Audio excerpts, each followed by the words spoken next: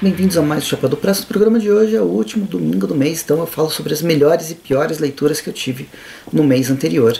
Bem, todos esses vídeos parece que são meio que polêmicos, porque não pelos melhores, obviamente, mas sempre pelos piores.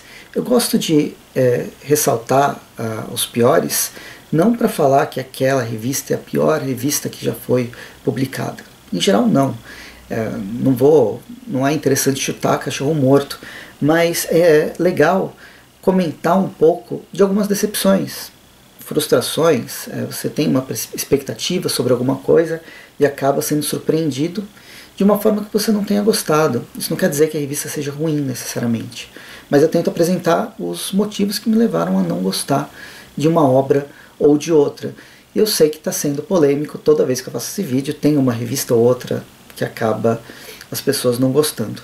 Dessa vez acredito que também vai ser, vai chamar atenção, porque eu não estou com a revista aqui, eu já emprestei ela, mas levantando tudo que eu li ao longo do mês, e aí depois os melhores eu já comento, mas o que eu li ao longo do mês tem uma revista que me decepcionou. Eu achei que ia ser uma coisa, acabou sendo outra, e eu estou falando, acho que dá para ver aqui pelo, pelo é, é, celular, que é o Grendel, o ônibus do Grendel. É uma publicação bastante esperada do Matt Wagner. Ele fez essas. São várias histórias que ele. O personagem que ele criou nos, no começo dos anos 80, de forma independente, revolucionou sim o mercado ou a forma de se fazer quadrinhos independente nos Estados Unidos. E como algumas pessoas disseram nos comentários, foi meio que um respiro em meio a tantas histórias de super-heróis que a gente tinha nos Estados Unidos mas é um personagem que, bem, basicamente é um personagem que vai se aproximar ao Diabolik, da italiano, um, um vilão por essência, não é nem um anti-herói, é um vilão por essência, e que a gente não vai acompanhar necessariamente uma redenção, que é justamente o que normalmente a gente acompanha nessas histórias de vilão. Não, ele é um vilão por ser um vilão, até é, ao longo das, das histórias que são compiladas nesse primeiro ônibus, temos uma origem para o personagem que vai tentar buscar essas motivações dele, mas em nenhuma, nenhum momento está justificando. E eu acho isso muito bom, porque constrói um personagem de uma outra perspectiva. Porém, não é um personagem que me agrada. Eu, eu, eu não, não curti muito a primeira edição, a primeira história, que é mais um livro ilustrado de quase 60 páginas, acho que são 40 páginas, depois tem a versão mais recente, que foi lançada em 2023, nem está nesse ônibus, que amplia isso ainda mais a contar a história do personagem, um histórico de um carinha que mistura psicopatia, sociopatia, se torna um rei do crime e com ótimas. É, ele é bastante hábil, principalmente na espada, mas não, não curti. Também não curti da forma que é no fim uma antologia, é uma reunião de vários e vários contos feitos sempre pelo Matt Wagner, mas com desenhos dos mais variados de vários artistas, artistas consagrados. É, eu fico caminhando nesse meio termo. É uma história interessante, é uma história importante para o cenário estadunidense e até para o Brasil, que conhecia muito pouco do Grendel, porém não foi o personagem que eu curti, então eu coloco nos meus piores. Mais uma vez, meus piores são decepções, não quer dizer que é a pior coisa do mundo. Eu sei que tem muita gente que gosta. Mas foi Grendel, mas vamos separar os melhores. Eu acho que vou começar com Ken Parker. Eu separei a edição número 16 e 17 aqui, mas é um ponto de ruptura, um ponto de transformação do personagem. Ele vai deixar de ser o batedor do exército para ser, tentar viver a vida de uma outra forma, tentando seguir um pouco mais esse ideia, ideal pacifista que o Ken Parker tem. Essa edição, na edição número 17, que tem a Milady, Cavaleiro do Norte, é justamente onde vai ter essa, vai ter essa transição. Ele vai parar de ser, de ser o, o batedor, mas é justamente nessa edição número 16 que vai ter esse desenvolvimento. A 16 a gente vai ter Colinas Sagradas Lendas do General e eu vou escolher ela como melhor. E nela são os últimos trabalhos do, do Ken Parker como, como batedor. Primeiro, ele vai se envolver numa, num conflito que vai acontecer perto da, da reserva de SEALs, dos, dos SEALs, lá na, Dakota do Sul, né, entre Wyoming, Nebraska e Dakota do Sul, mas principalmente eu quero ressaltar, e aí vocês veem o vídeo específico, vou explicar melhor, mas eu quero ressaltar principalmente essa segunda edição, peraí, que edição?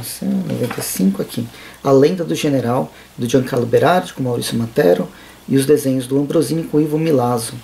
Nessa revista, a gente vai acompanhar a construção de um, de um mito, a construção do General Custer, um dos personagens mais controversos e icônicos da história dos Estados Unidos, né, dessa segunda metade do, da, do século XIX no, nos Estados Unidos, mas é, basicamente o Ken Parker ele vai ser designado para ajudar o General Custer numa das suas expedições e ele chega atrasado. Ao chegar atrasado ele tenta chegar à sua, ao seu dever, mas nesse meio tempo existem algumas aventuras, alguns perigos que Ken Parker passa, mas principalmente o que a gente tem é a construção da figura do do personagem, do, do, do Custer, do General Custer. Quem que é essa figura? Ele é um herói? Ele é um vilão? Ele é um cara covarde? Ele está querendo, ele faz o que faz apenas pela glória? Quais são as motivações que vão levar o General Custer a ter as decisões, a fazer o que ele faz? É isso que a gente vai ter nesse, nessa história bem interessante, como isso é desenvolvido nessa, nessas páginas. Basicamente, como eu disse, a construção de um personagem, a própria história vai, vai fazer um diálogo com o que é história, que nada mais é a interpretação de várias perspectivas de um mesmo evento, de uma mesma trajetória, para tentar se chegar a uma. para tentar se pensar a uma chegar a uma conclusão sobre determinada situação, por que, chegou em tal, em tal momento, o que, que é, como que se construiu esse processo, como esse, esse processo histórico ele se, se deu. O General Custer é justamente isso, o que transforma a narrativa ou transforma o próprio personagem não num grande ícone, num grande deus ou num grande covarde, mas numa figura bastante humana.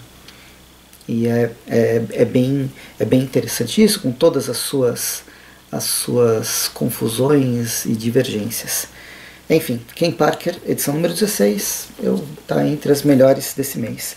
Seguindo, eu pego aqui a Divina Comédia. E é difícil pegar, é volume 1 ou 2, são os dois volumes que vão, tra vão trazer uma única história, adaptação da Divina Comédia do Dante, pelo Gonagai, em versão mangá. É, isso aqui foi feito em 95 lá no, no Japão, publicado aqui pela editora New Pop é, no começo, acho que 2020, 2021, já faz, já faz um tempinho. E eu demorei um pouco para comprar, embora namorasse essa revista há bastante tempo. Bem, eu tenho uma relação é, bem interessante com Divina Comédia para mim. A, toda a, o livro né, do, do Dante Alighieri, que foi escrito lá no século no século XIV, ele é uma das principais narrativas, uma das principais obras literárias da humanidade. Ela vai fazer, vai virar referência e vai ser influência para diferentes, para diferentes culturas. É, ela mesma é uma construção a partir de várias culturas, de mitologias, seja greco-romanas, seja da própria mitologia cristã, mesclando numa única, numa única, numa única história.